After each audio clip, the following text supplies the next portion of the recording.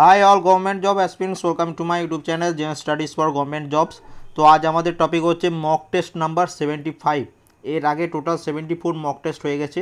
যারা দেখোনি বা যারা নতুন আছো এই চ্যানেলে তার অবশ্যই এক নম্বর থেকে শুরু করে একদম সেভেন্টি ফোর পর্যন্ত মক টেস্টগুলো অবশ্যই দেখে নেবে, ঠিক আছে? কারণ ডাইরেক্ট এখান থেকে স্টার্ট করবে না, এখন অনেকটা আমরা এগিয়ে এসেছি তো তোমাদের অনেকজনা অসুবিধা হতে পারে। তো এক নম্বর থেকে একদম আমরা ইজি লেভেল থেকে স্টার্ট করে হার্ড লেভেল পর্যন্ত চলে এসেছি। তো ফার্স্ট প্রশ্ন দেখো কি দিয়েছে? অ্যান্সার করার চেষ্টা করো। প্রথম রৌপ্য মুদ্রা কে চালু করেন? তাড়াতাড়ি কমেন্ট করো। তো এক নম্বর প্রশ্ন। অ্যান্সার হচ্ছে অপশন ডি শের শাহ। ঠিক আছে? দু নম্বর প্রশ্নে চলে আসি। খুচরাহ মন্দিরগুলি কোন ধরনের শিল্প কীর্তির নিদর্শন? এই প্রশ্নটা তোমাদের আমি আগে পড়িয়েছি। আশা করি অ্যান্সার দিতে পারবে। তো এটার অ্যান্সার হচ্ছে নাগারা অপশান সি হচ্ছে এটার অ্যান্সার ঠিক আছে? অনেকজন এখনও ভুল অ্যান্সার দিচ্ছ। তিন নম্বর প্রশ্নে চলে আসি। ভারতীয় সংবিধানের নির্দেশমূলক নীতি directive principal of state policy ঠিক আছে? এটা গ্রহণ করা হয়েছে কোন দেশের সংবিধান থেকে? তাড়াতাড়ি কমেন্ট করো। ইন্ডিয়ান কনস্টিটিউশন থেকে এইরকম ধরনের প্রশ্ন পরীক্ষায় আসে। ঠিক আছে? এটা অ্যান্সার হচ্ছে আয়ারল্যান্ডের কাছ থেকে। অপশন ডি হচ্ছে এটার অ্যান্সার ভারতীয় সংবিধানে কোন ধরনের নাগরিকত্ব বা নাগরিকতা স্বীকৃত রয়েছে? চার নম্বর প্রশ্ন কমেন্ট করো। তো ভারতীয় সংবিধানে এক নাগরিকত্বর নাগরিকতা স্বীকৃত রয়েছে। অপশন এ হচ্ছে এটার অ্যান্সার পাঁচ নম্বর প্রশ্নে চলে আসি। ভারতের সংসদের দুটি কক্ষের যুগ্ম সভা আহ্বান কে করেন? দুটি কক্ষ, লোকসভা, রাজ্যসভা। তো দুটোরই যুগ্ম সভা আহ্বান করেন কে? তো কমেন্ট করো পাঁচ নম্বর। এটা করেন রাষ্ট্রপতি। অপশন এ হচ্ছে এটার অ্যান্সার ছয় নম্বর প্রশ্ন, এরকম ধরনের প্রশ্ন প্রত্যেক পরীক্ষায় দেখতে পাবে। সয়াবিন উৎপাদনে ভারতের কোন রাজ্য প্রথম স্থান অধিকার করেছে? তো কমেন্ট করো তাড়াতাড়ি। সয়াবিন উৎপাদনে ভারতের কোন রাজ্য প্রথম স্থান অধিকার করেছে? তো ছ নম্বর প্রশ্ন, এটির অ্যান্সার হচ্ছে অপশন বি মধ্যপ্রদেশ। সাত নম্বর প্রশ্নে চলে আসি। স্পাই প্রিন্সেস বইটি কার লেখা? বুকস অ্যান্ড অথার্স থেকে প্রশ্ন প্রত্যেক পরীক্ষায় আসে। তাই আমি প্রত্যেকটা সেটে তোমাদের জন্য বুকস অ্যান্ড অথার্সের কোশ্চেন রাখার চেষ্টা করছি। তো এটার অ্যান্সার হচ্ছে শ্রাবণী বসু। অপশন বি হচ্ছে এটার অ্যান্সার দাঁতের ক্ষয়ের জন্য প্রধানত দায়ী কোনটি? দাঁতের ক্ষয় জন্য প্রধানত দায়ী কোনটি? তো এটার জন্য দায়ী হচ্ছে ব্যাকটেরিয়া নিউ তুতিকোরিন বন্দরটি কোন রাজ্যে অবস্থিত? কমেন্ট করো তাড়াতাড়ি। নিউ তুতিকোরিন রাজ্য সরি বন্দরটি কোন রাজ্যে অবস্থিত? বা তুতিকোরিন বন্দরটি, তো এটা অ্যান্সার হচ্ছে তামিলনাড়ু। কৃষ্ণার, কৃষ্ণা নদীর উপনদী মুসি তীরে কোন শহরটি অবস্থিত? তো কৃষ্ণা নদীর একটি উপনদী হচ্ছে মুসি নদী, ঠিক আছে? এবং এই মুসি নদীর তীরে কোন শহরটি অবস্থিত, এটা তোমাদের প্রশ্ন। তো কমেন্ট করো। যেটা অ্যান্সার হচ্ছে হায়দ্রাবাদ শহর। রাওলাট আইন পাস হয় কত সালে? তাড়াতাড়ি কমেন্ট করে দাও। রাওলাট আইন কত সালে পাস হয়েছিল? তো রাওলাট আইন এটা পাস হয়েছিল উনিশশো উনিশ সালে। এই সময় কি হয়েছিল? জালিয়ানওয়ালাবাগের হত্যাকাণ্ড। গান্ধীজির সঙ্গে কার পুনা চুক্তি স্বাক্ষরিত হয়? খুব ইম্পর্টেন্ট প্রশ্ন ইন্ডিয়ান ন্যাশনাল মুভমেন্ট থেকে। তো গান্ধীজির সঙ্গে পুনা চুক্তি স্বাক্ষরিত হয়েছিল ডক্টর বি আর আম্বেদকরের। অপশন বি হচ্ছে এটার অ্যান্সার জারোয়া উপজাতি বসবাস করে কোন অঞ্চলে? তাড়াতাড়ি কমেন্ট করো। জারোয়া উপজাতি বসবাস করে কোন অঞ্চলে? এটা এটা তোমাদের ওয়েস্ট বেঙ্গল পিএসসি বিশেষ করে ডাব্লিউবিসিএসে অনেকবার এসছে। তো এটা অ্যান্সার হচ্ছে আন্দামান দ্বীপপুঞ্জে। সুন্দরবন দিবস কবে পালন করা হয়? আজকে যেন প্রত্যেকের অ্যান্সারটা সঠিক থাকে। এর আগে একদিন পড়িয়েছিলাম, যত সম্ভব অনেক দিন আগেই পড়িয়েছিলাম। এই মক টেস্টের সিরিজেই পড়িয়েছিলাম। তো এটা অ্যান্সার হচ্ছে একুশে আগস্ট। কোটা শহরটি কোন নদীর তীরে অবস্থিত? কোটা কোটা, তাড়াতাড়ি। তো এটা অ্যান্সার হচ্ছে চম্বল। অপশন বি হচ্ছে এটার অ্যান্সার ষোলো নম্বর প্রশ্ন, অবিভক্ত বাংলাদেশের কৌলিন্য প্রথা প্রবর্তন করেন কে? কৌলিন্য প্রথা প্রবর্তন করেছিলেন কে? সেটা অ্যান্সার করতে পারলে এটা অ্যান্সার হয়ে যাবে। তো ষোলো নম্বর এটা অ্যান্সার কে? বল্লাল সেন। খুব ইম্পর্টেন্ট প্রশ্ন। কাদম্বরী রচনা করেন কে? এটা তো খুব ইজি প্রশ্ন। এটা তোমাদের সবার অ্যান্সার করা উচিত। তো কাদম্বরী হচ্ছে বানভট্টের এবার আমরা চলে আসব আঠেরো নম্বর প্রশ্নে। তো আঠেরো নম্বর প্রশ্ন কি বলেছে দেখো? ভারতীয় সংবিধানে শিক্ষার অধিকার কোন ধরনের অধিকারের নীতি? তো এটা মনে রাখবে, আমাদের সংবিধানে যে শিক্ষার অধিকারটি দেওয়া রয়েছে, সেটি হচ্ছে মৌলিক অধিকার একটি। কোন উষ্ণতায় পার সেন্টিগ্রেড ও ফাইনাইট স্কেলের মান সমান? এটা পার হবে, ঠিক আছে? বা প্রতি। কোন সেন্টিগ্রেড উষ্ণতায় সরি কোন উষ্ণতায় সেন্টিগ্রেড ও ফাইনাইট স্কেলের মান সমান? তো এটার অ্যান্সার হচ্ছে option C minus forty degree Celsius বা মাইনাস ফর্টি ডিগ্রি ফারেনহাইট তো এটার ফর্মুলা কি? C by five equal to F minus thirty two by nine এই যে কোনো হয় সি এর ভ্যালু মাইনাস ফর্টি বসাবে অথবা এফ এর ভ্যালু মাইনাস ফর্টি বসাবে। দেখবে দুটোরই ভ্যালু সমান আসছে। ঠিক আছে? নেক্সট চলে আসি কুড়ি নম্বর প্রশ্ন, নিম্নের কোন বৈশিষ্ট্যটি সিনেমার ক্ষেত্রে প্রযোজ্য? তো সিনেমার যে পর্দাটি হয়, সেটা কেমন হয়? তো তাড়াতাড়ি কমেন্ট করো। তো সেটা হয়ে থাকে সাদা ও অমসৃণ। ঠিক আছে? নেক্সট বর্ণালীর পরিমাপক যন্ত্রটির নাম কি? বর্ণালীর পরিমাপক যন্ত্রটি কি বা কোনটি?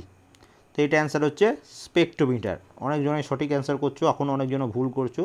সংবিধানের কোন ধারায় রাষ্ট্রপতি ইমপিচমেন্ট এর কথা বলা হয়েছে বা রাষ্ট্রপতি অপসারণের কথা বলা হয়েছে? সংবিধানের কোন ধারাতে? তো এটা বহুবার পড়িয়েছি, তো এটা এখানে অ্যান্সার হচ্ছে অপশন বি একষট্টিতম ধারা বা একষট্টিতম আর্টিকেল ছয় থেকে চোদ্দ বছরের শিশুদের শিক্ষার সুযোগ দেওয়ার বিষয়ে সংবিধানের কোন সংশোধনীর মাধ্যমে সংবিধানে অন্তর্ভুক্ত করা হয়েছিল? আর একবার বলছি যে ছয় থেকে চোদ্দ বছরে প্রত্যেকটা শিশুকে শিক্ষার অধিকার দিতে হবে, ঠিক আছে? তো এটা সংবিধানের কোন সংশোধনীর মাধ্যমে সংবিধানে অন্তর্ভুক্ত করা হয়েছে? তো বলো। তো এটি হয়েছে ছিয়াশিতম সংবিধান সংশোধনীর ফলে। নিউটনের সূত্র থেকে আমরা কি জানতে পারি? নিউটনের সূত্র থেকে আমরা জানতে পারি বলের পরিমাপ। অপশান সি হচ্ছে এটার অ্যান্সার। গান পাউডার হিসাবে ব্যবহৃত হয় কোনটি? গান পাউডার হিসাবে ব্যবহৃত হয় কোনটি? তো গান পাউডার হিসাবে ব্যবহৃত হয়ে থাকে পটাশিয়াম নাইট্রেট, খুব ইম্পর্টেন্ট ডয়াপ্টার হলো একটি একক যেটা, ডয়াপ্টার কিসের একক সেটা তোমাদের কমেন্ট করে জানাতে হবে। তো এটা মনে রাখবে ডয়াপ্টার হচ্ছে যে কোনো ধরনের লেন্সের একক। লেন্সের একক এইটা বিশেষ করে মনে রাখবে। যখন গতিশীল বস্তুর বেগ দ্বিগুণ করা হয়, তখন তার ভরবেগ কি হয়? সরি ভরবেগ বলছি। এগুলোর মধ্যে কোনটা চেঞ্জ হয় বা কোনটা সঠিক সেটা তোমাকে কমেন্ট করে জানতে হবে। তো যখন কোনো বস্তুর বেগ দ্বিগুণ হয়, তখন তার ভর বেগও দ্বিগুণ হয়ে থাকে। ঠিক আছে? অপশন সি হবে এটার অ্যান্সার গ্লোবার সল্টের রাসায়নিক নাম কি? এইটার মনে চার পাঁচবার পড়িয়েছি তোমাদের। গ্লোবার সল্টের রাসায়নিক নাম কি?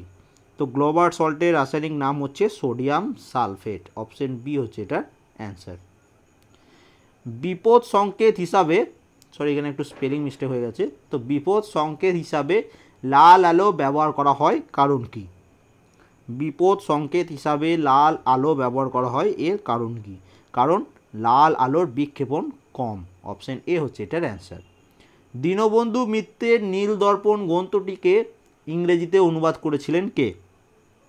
দীনবন্ধু মিত্রের নীল দর্পণ গ্রন্থটিকে ইংরেজিতে অনুবাদ করেছিলেন কে? তো এটা তোমরা সবাই জানো যে মাইকেল মধুসূদন দত্ত, তিনি দীনবন্ধু মিত্রের নীল দর্পণকে ইংরেজিতে অনুবাদ করেছিলেন। তো এখানে অ্যান্সার হয়ে যাচ্ছে অপশন বি। এবার চলে আসি আমরা থার্টি ফার্স্ট নম্বর প্রশ্নে। ভারতের নেপোলিয়ান কাকে বলা হয়? সবাই পারবে কমেন্ট করো। ভারতের নেপোলিয়ান কাকে বলা হয়? তো ভারতের নেপোলিয়ান বলা হয় সমুদ্রগুপ্তকে। অপশন এ হচ্ছে এটার অ্যান্সার ইন্ডিয়ান রিপাবলিকান আর্মি কে প্রতিষ্ঠা করেন?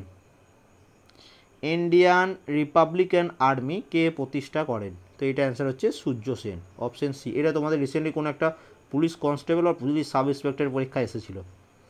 এটা দেখো, উনিশশো পাঁচ সালে ঢাকা অনুশীলন সমিতি স্থাপন করেছিলেন কে? এটা মিসলেনিয়াস, ক্লার্কশিপ, ডাব্লিউবিসিএস। তিনটে পিএসসির পরীক্ষা তিনটেতেই এসেছে পিবিএস ইয়ারে।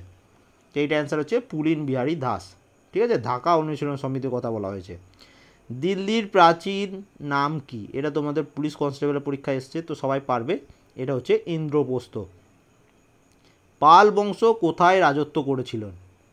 পাল বংশের রাজারা কোথায় রাজত্ব করেছিলেন? তো সেটা হচ্ছে বিহারে। অপশন বি হচ্ছে এটার অ্যান্সার।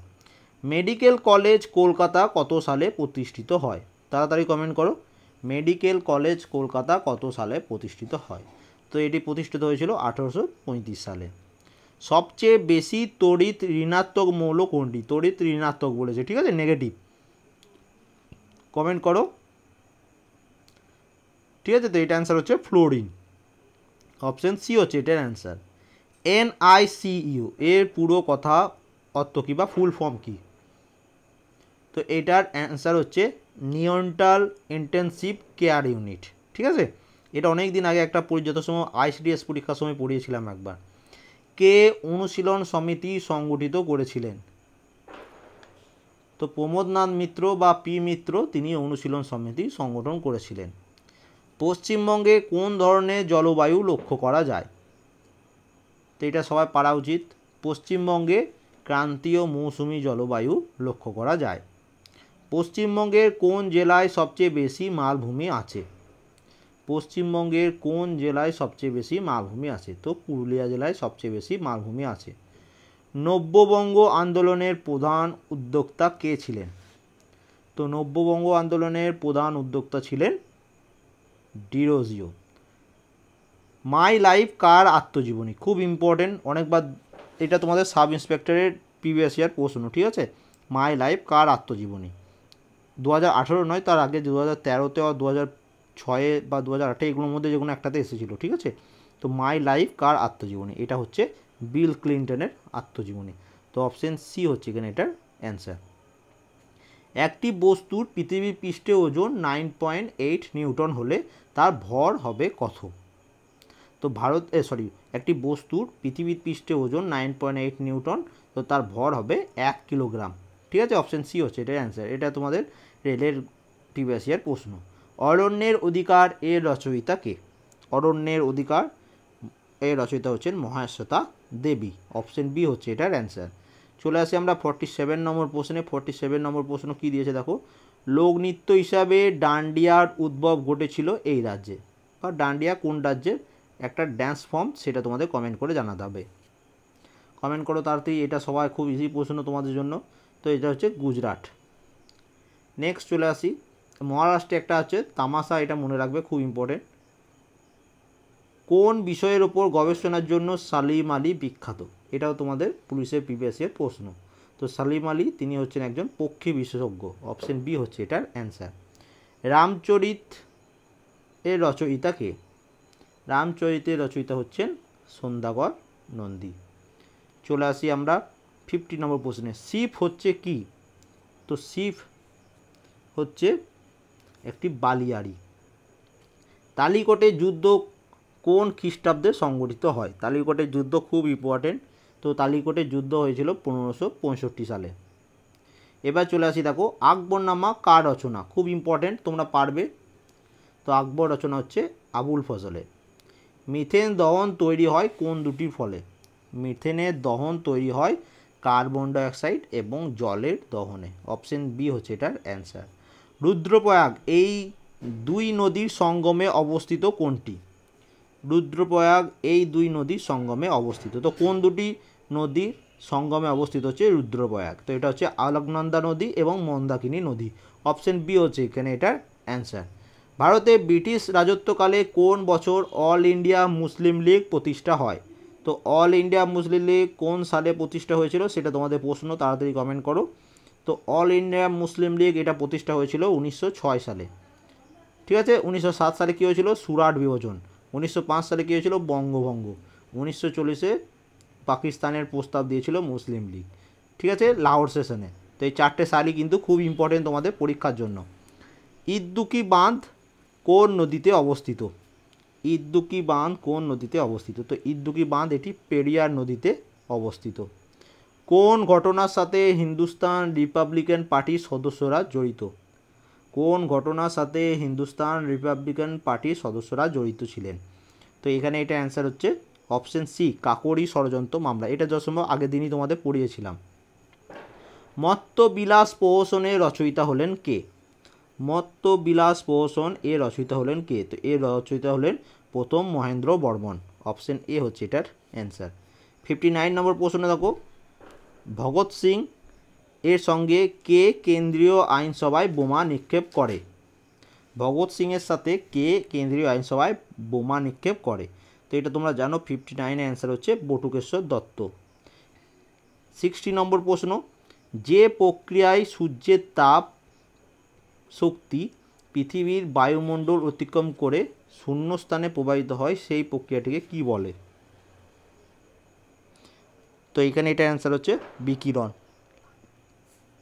এবং লাস্ট প্রশ্ন, কেউ ভয় পেলে কোন হরমোন খরিত হয়? কেউ ভয় পেলে কোন হরমোন খরিত হয়? তো কেউ ভয় পেলে অ্যাড্রিনালিন হরমোন খরিত হয়। তো আজকে সেটাতে টোটাল সিক্সটি ওয়ান কোশ্চেন ছিল। কেমন লাগল কমেন্ট করে জানাবে। কার কত স্কোর হলো, অবশ্যই ভিডিওটা শেষ হয়ে যাবার কমেন্ট করবে, আমি তোমাদের তাহলে কমেন্ট করে দেখতে পারব। যদি মনে হয় কোনো প্রশ্নের অ্যান্সার ভুল বলেছি, অবশ্যই কমেন্ট করে দেবে, আমি ভেরিফাই করে নেব। সবাই অবশ্যই ভিডিওটা একটা করে লাইক এবং শেয়ার করে দেবে, যারা নতুন আছো সাবস্ক্রাইব করে পাশে অল নোটিফিকেশান অন করে নেবে। তাহলে যখনই কোনো ভিডিও দেবো, তোমরা নোটিফিকেশান পেয়ে যাবে। And thank you for coming